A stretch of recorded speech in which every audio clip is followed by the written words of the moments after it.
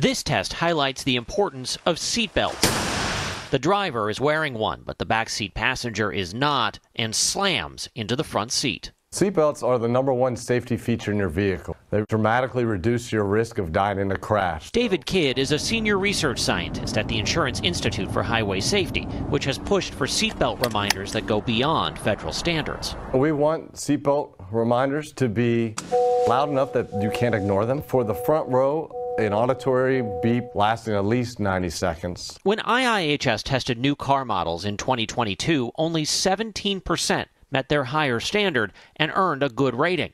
But that has changed dramatically. This year, 62% of new models received a good grade. The Ford Maverick is one of those improved vehicles.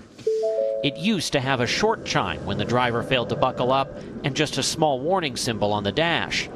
Now there's a loud chime and a flashing visual warning.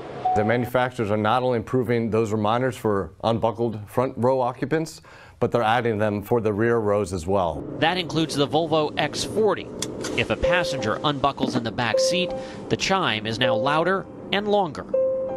IIHS says good warnings increase seatbelt use, and if every vehicle had them, it could save nearly 1,600 lives a year. Kris Van Cleave, CBS News, Phoenix.